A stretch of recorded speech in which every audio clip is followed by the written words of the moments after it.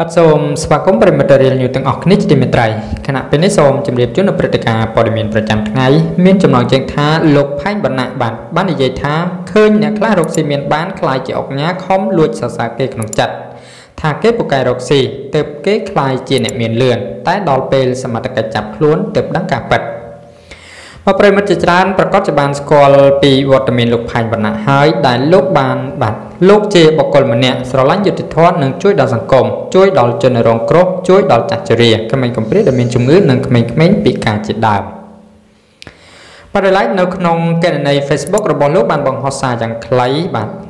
ឃើញអ្នកខ្លះរកស៊ីមានបានខ្លាយជាអុកញ៉ាបាទខំលួចសរសើរគេក្នុងចិត្តថាក្រន់បើបាទពូកែរកស៊ី ទើបคล้ายជាអ្នកមានលឿនបែបនេះដល់ពេលសមត្ថកិច្ចចាប់ខ្លួនទើបដឹងថាអុកញ៉ាខ្លះរកស៊ីបានដើរបោកប្រាស់គេអុកញ៉ាខ្លះរកស៊ីគ្រឿងញៀនអុកញ៉ាខ្លះរកស៊ីលួចដីរដ្ឋបាទអុកញ៉ាខ្លះរកស៊ីបំផ្លាញព្រៃឈើលាក់និងលាក់